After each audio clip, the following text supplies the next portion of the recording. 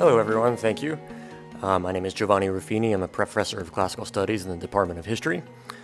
And I am here to introduce our next speaker to you, Jessica Lamont. Jessica is an assistant professor of classics at Yale University, as I like to call it, the other university in Connecticut uh, whom we have been lucky enough to have speak at Fairfield actually a, a number of times now. In fact, I, I, have a little bit of career envy when it comes to Professor Lamont's work, to be honest. She has made a, a fascinating career writing and teaching about Greek medicine and magic. Her talk here a few years ago on curse tablets from classical Athens was honestly one of the more interesting talks I think I've ever seen.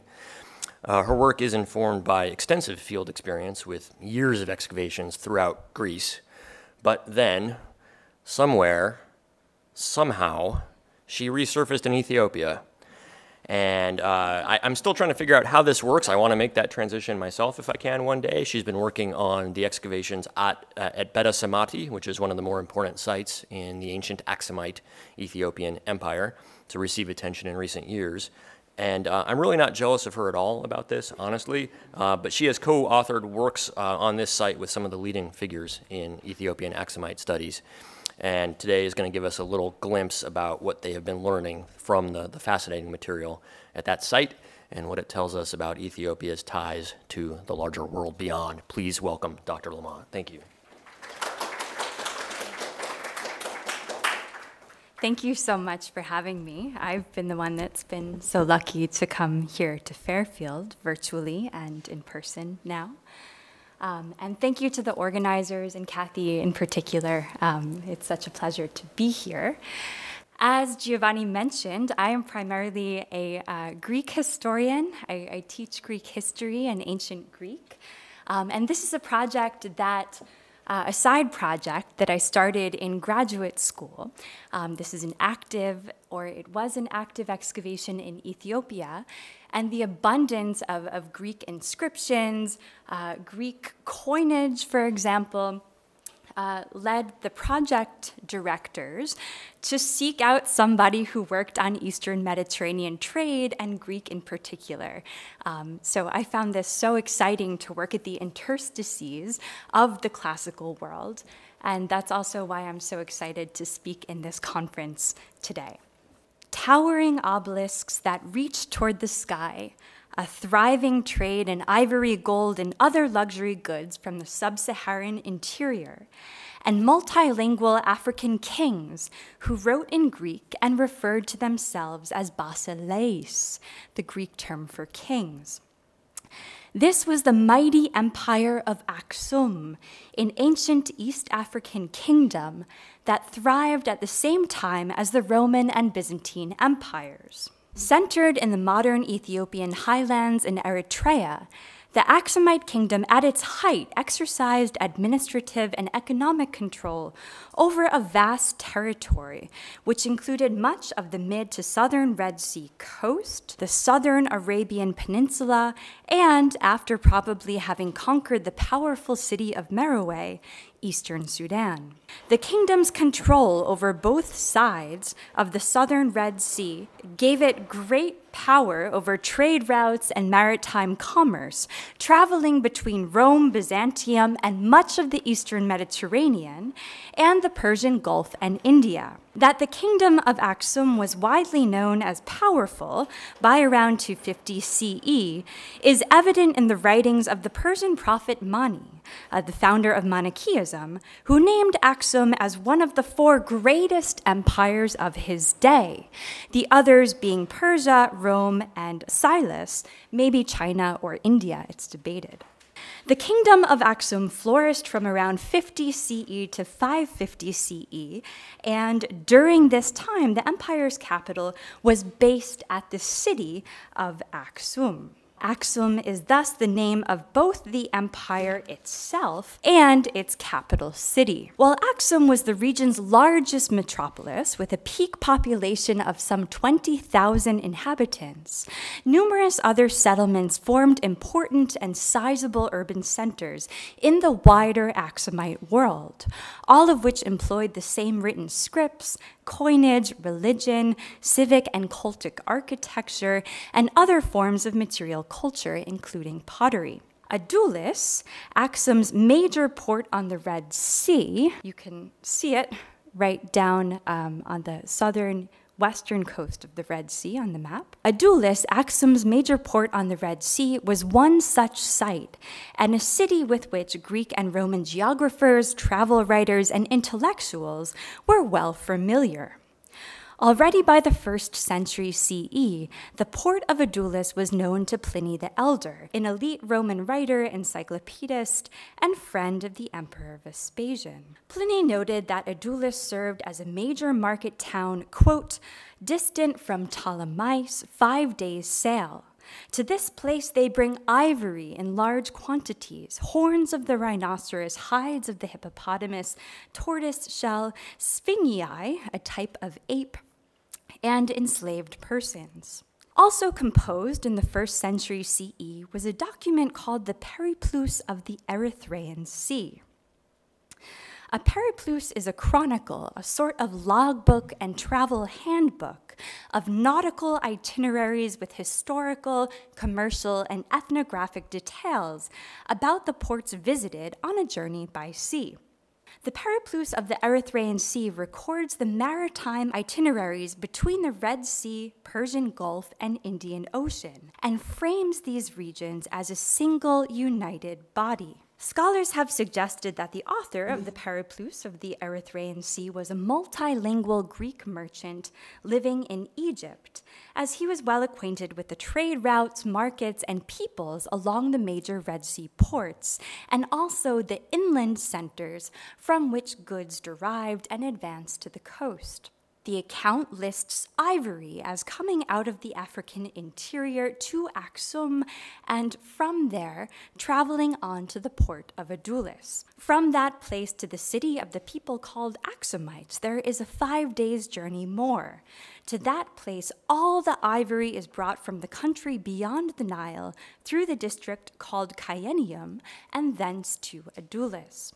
The author of the Periplus also names the ruler of Axum, whose familiarity with Greek literature, and surely Greek language and culture more broadly, was flagged. Quote, these places, from the calf eaters to the other Berber country, are governed by Zoskales, who is miserly in his ways and always striving for more, but otherwise upright and acquainted with Greek literature. End quote. Now, in keeping with the theme of this conference, this genre of document seems worth commenting on. These sorts of chronicles provide a view of Axum from a Greco Roman point of view. Here, the Axumites are confined to a genre of travel literature. They are curiosities, purveyors of luxury goods and exotica from the distant edges of the known world, of ivory and elephants and pet chimps for the wives of the wealthiest Romans, although their elites could also read Homer and were proficient in Greek. But what about the view from Axum? Let us place ourselves in Axum and look outwards toward the Mediterranean and beyond. By the third century CE, it was evident across the kingdom of Axum, too, that regional power lay in control of the southern Red Sea, through which all maritime commerce funneled between the Mediterranean, especially Rome and Byzantium, and the Indian Ocean, including India, South Arabia, and the Persian Gulf. Axum was also centered along caravan routes that connected the modern region of Sudan to Ethiopia with points farther inland in the African interior. Axum also engaged in dialogue with South Arabia, exchange which began centuries before the kingdom of Axum emerged as a centralized polity.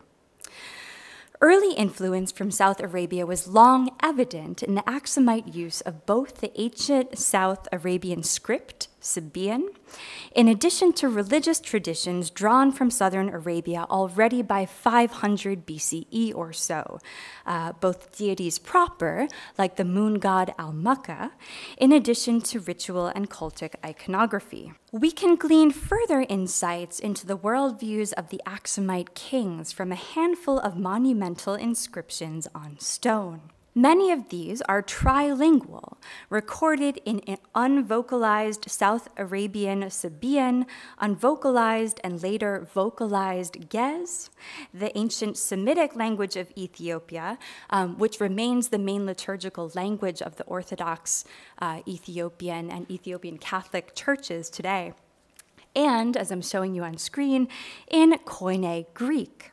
These inscriptions have been found at a range of sites in northern Ethiopia, Eritrea, South Arabia, and even at Meroe.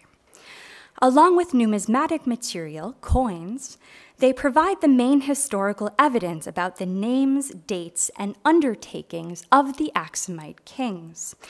And in fact, some Aksumite kings are known only from 3rd century CE inscriptions from southern Arabia, indicating that during this time the kingdom was particularly active across the Red Sea.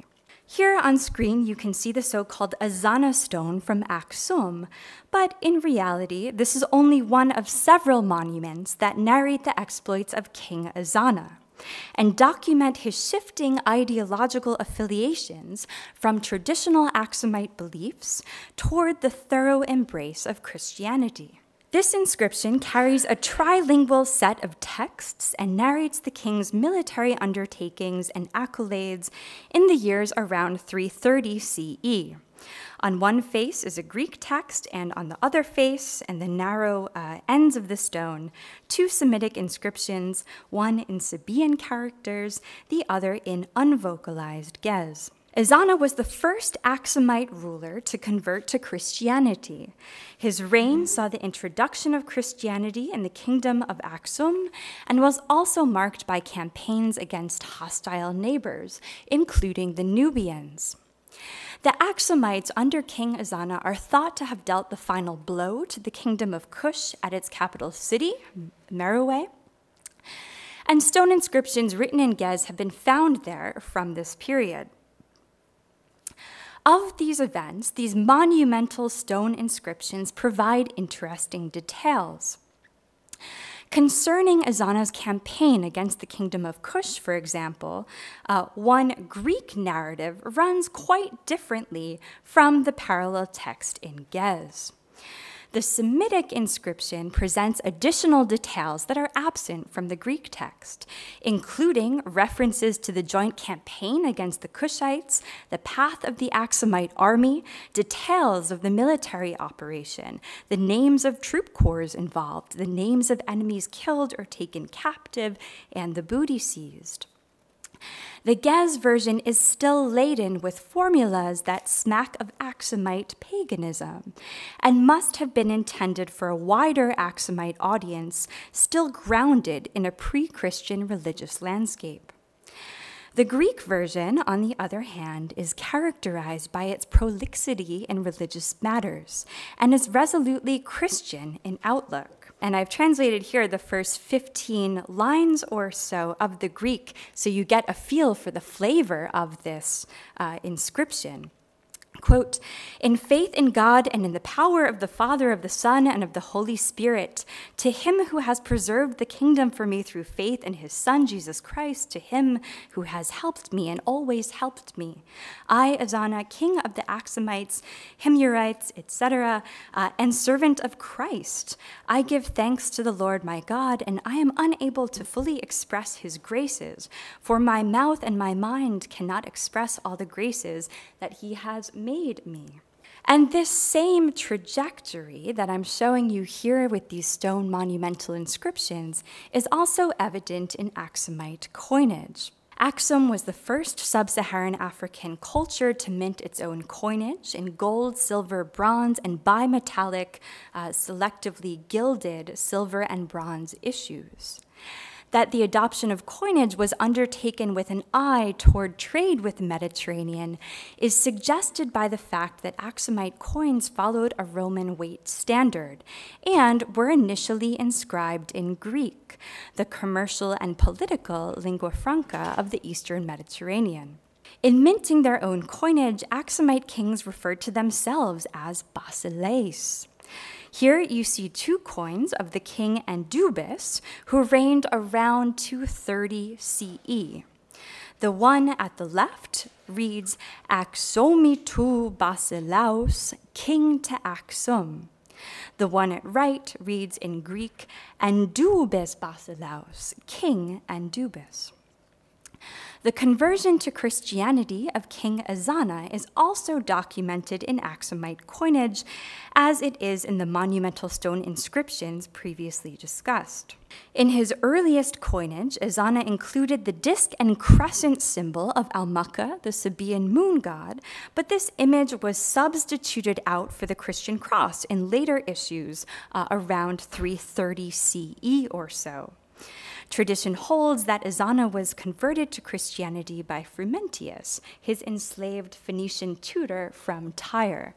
Uh, so you can see here what's understood as Ezana's earlier issues uh, with again this uh, crescent and disk symbol of the moon god, originally Sabaean, we think, Almukka. Uh, but this is later substituted out uh, for, you see, um, the Christian cross in the reign of a single king. Uh, we combine this with the evidence from the monumental inscriptions, uh, and we can really see what this looked like on the ground, at least in elite strata. This provides a fascinating insight into the process by which Christianity was adopted in the Aksumite kingdom. Christianity was first taken up by the indigenous ruling elite almost as an elite veneer overlaying the indigenous highland religious culture that, for the most part, continued for some time without interruption. While Ezana's conversion was commemorated on his coinage and in monumental Greek inscriptions, that of his subjects appears only gradually in a top down progression that slowly manifests in the archaeological record in the appearance of, for example, cross designs on everyday objects, especially ceramics. Alongside glass goblets, um, amphorae filled with wine and olive oil, polished red terra sigillata, and other ceramics, Christianity was surely Axum's biggest and most long lasting Mediterranean import. In 525 CE, for example, the Aksumite king Caleb would attack southern Arabia to protect the Christian community there, and in so doing, consolidate his control over several Arabian states.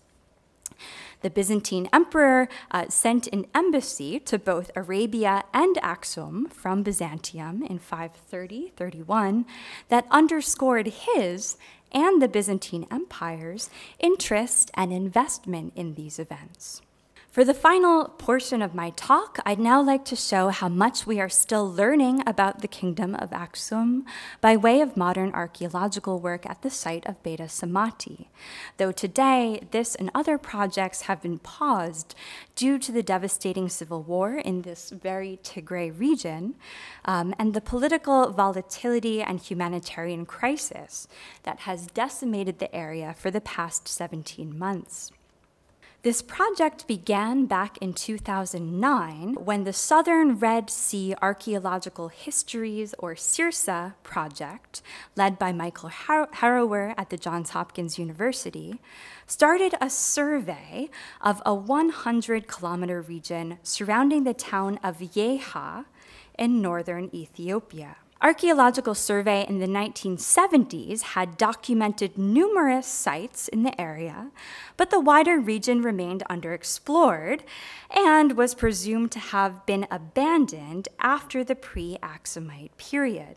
Information from local residents led us to Beta Samati, a 20 hectare settlement featuring a 14 hectare central tell or mound uh, that stands up to 25 meters above the surrounding valley. So it was pretty obvious. It wasn't really much looking because this is what it looked like right there uh, in the living landscape today. Excavations in 2011, 12, uh, 15, and 16 revealed massive stone architecture extending more than three meters below the ground surface, dating from as early as the 8th century BCE.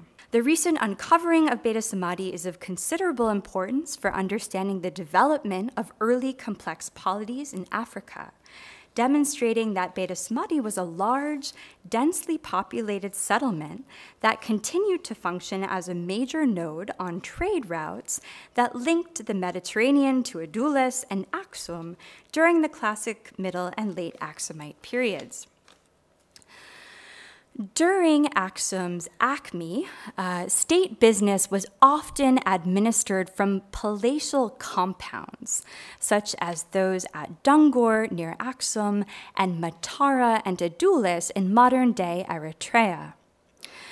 What we found at Beta Samati is another such complex, which changed markedly in nature with the kingdom's conversion to Christianity. And I'm just showing you here what we found at Beta Samati uh, compared to other known Aksumite sites, and you can see the, the clear parallels in just the type of structure and the architectural form. Excavations at Beta Samati have revealed a residential or workshop precinct in Area A. So these are the two regions uh, on that tell or hill that we've explored. Here's Area A. I'll focus my comments today on our work in Area B, which uncovered a basilica with a rectangular tripartite Syriac indented plan characterized by interior recessed and rebedded walls with projecting corners and dressed cornerstones emblematic of the Aksumite tradition. The layout is similar to the Middle and Late Aksumite basilicas at Aksum,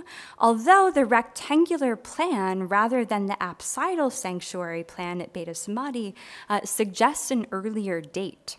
The basilica shows evidence for ritual and administrative activities, international trade, and preferential access to high value foodstuffs. A Ge'ez inscription found just outside the structure reads to or for this entrance or atrium, Christ be favorable to us.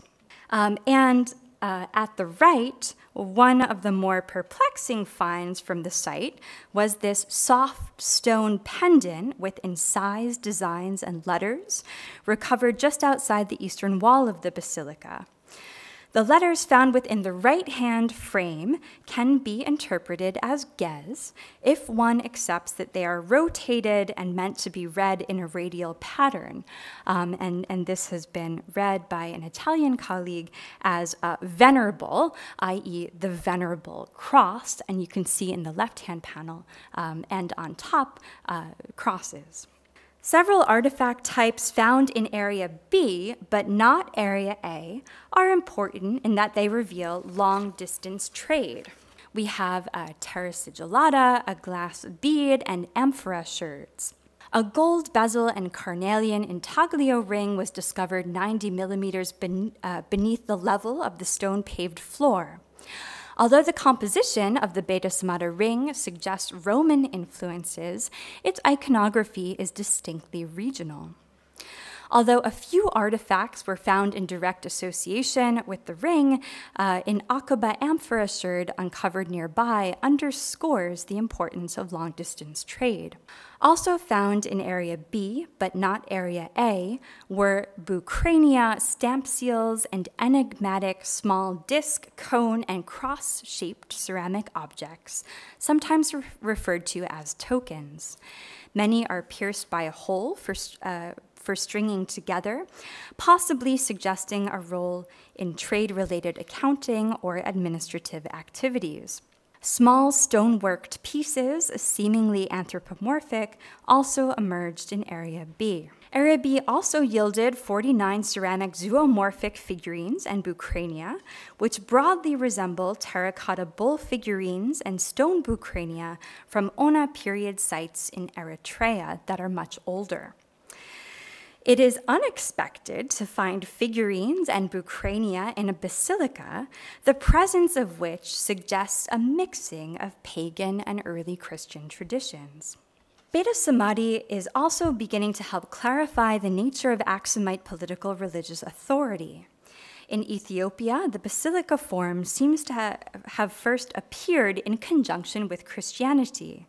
The basilica at Beta Samati, however, shows this complex blurring of secular trade and administration, coinage, tokens, stamp seals.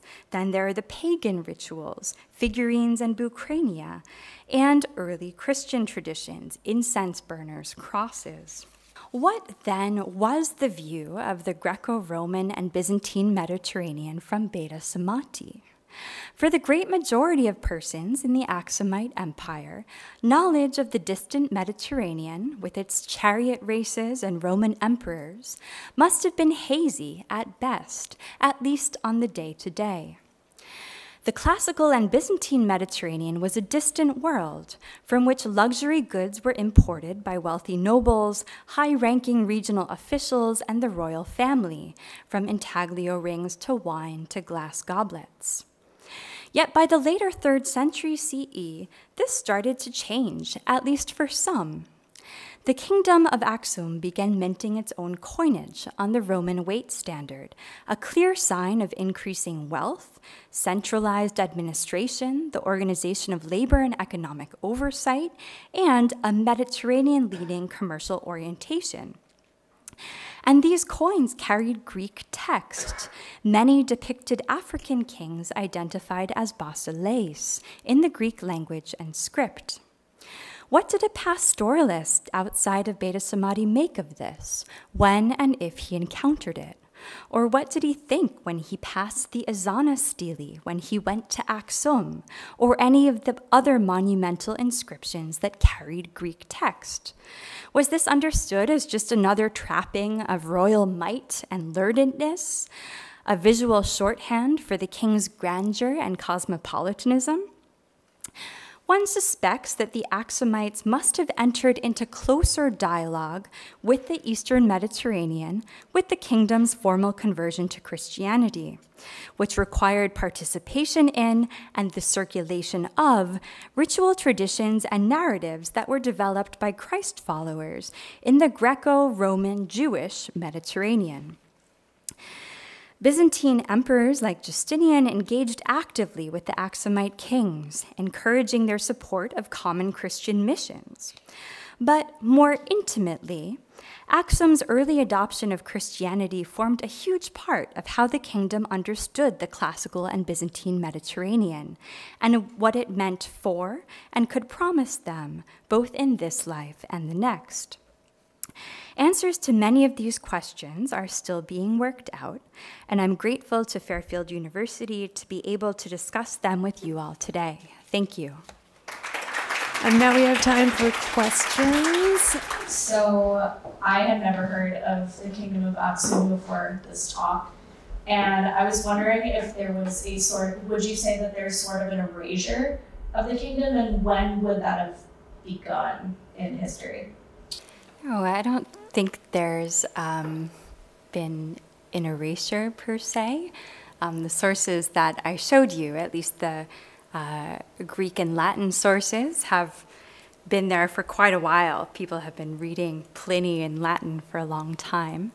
Um, no, but, but you're certainly right to point to the lack of uh, dialogue that Aksum has, has had with the broader Greco-Roman Eastern Mediterranean. Um, and I think you know the question of, of how to remedy that such that people don't, you know, was there an erasure? How could I not have heard about this? That's part of the work that this conference is doing. Um, I, I lived and, and did graduate school in Baltimore, in Maryland, and um, the state of Maryland has just started incorporating discussion of the Aksumite kingdom within a sixth grade public world history textbooks. And why wouldn't you? Of, of course, this makes great sense. Um, so, as Professor Bagnall said yesterday, you know, this is the kind of tedious, laborious work and cross disciplinary conversations that hopefully one day will make it such that, uh, you know, that this isn't a lacuna in the historical tradition. Uh, thank you for your question and insights. I'm going to back up a little bit so this doesn't seem too confrontational. I, I have an ideologically loaded question for you. I, I've, I'm, I've taken a side on this team already, so I'm going to ask you about your, your model of the Christianization of Ethiopia being top down. And I, I want to see if you can imagine a hypothetical alternative that looks along the following way. I think in Nubian studies, we're slowly tossing out the top down model because we've been doing a lot more digging. And the more we dig, the more we find fourth and fifth century material that is clearly Christian, clearly indigenous, that predates the top down model. And I wonder if the Ethiopian top down model is still viable only because there hasn't been enough digging. In other words, if you do more, like Beta Samati, rinse and repeat a dozen times, you're going to start finding third century, early fourth century Christian stuff in Ethiopia that's indigenous that might have actually given the king a little push. Yeah, it's a great point, and uh, certainly no confrontation needed. Um, I, I, think that's very possible. Of course, you know, so much of this is still being sorted out by field work, field survey. Um, and I don't think it's it's entirely top down because the narrative that we both mentioned of Frumentius, he was an enslaved Phoenician from Tyre who converted the king Ezana whom he was tutoring. So there's already threads of, you know, was this top down, king down? Clearly it's it's there. The tutor um, the enslaved tutor is, is there and a fervent believer, such that he's able to convert his, uh, his uh, king. I, I, think it's very possible that that model can fade. Um, I do see, even at Beta Samati in the materials that I showed you, where we see prominent crosses, it, it is on these elite objects, this soft stone pendant, for example um, in, in the monumental narratives of Ezana and the transition of the coinage. So maybe that's the, the, the hinge at which we can capture it, that kind of 330 date. You know, here's Ezana firmly grounded in a pre Christian tradition. Here we see evidence of the ideological shift. Um, you know, what that would look like on the ground before in a kind of ground up model, you know, the crosses on ceramics, how would you, how would you look for that? Um, you know, I, I, I don't see that on the ground in what we know thus far. Um, the Mediterranean imports are there, so maybe this too has yet to appear.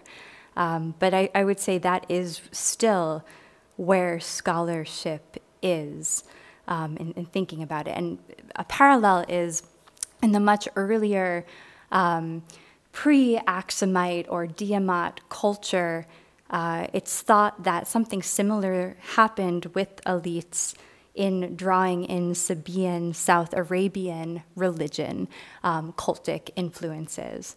Um, so that elite top down model is there in other kind of parallel ritual traditions as well.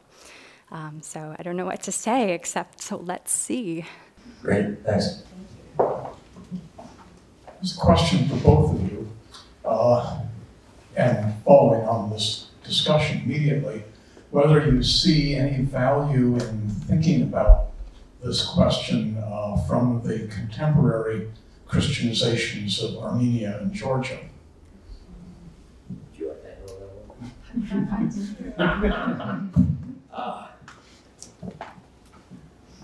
I think we're both going to plead ignorance on that one. Um, but one thing I would point out is that there are always indigenous traditions that exist outside of the historiographical mainstream, certainly in Ethiopia, that continue to insist on direct Armenian connections.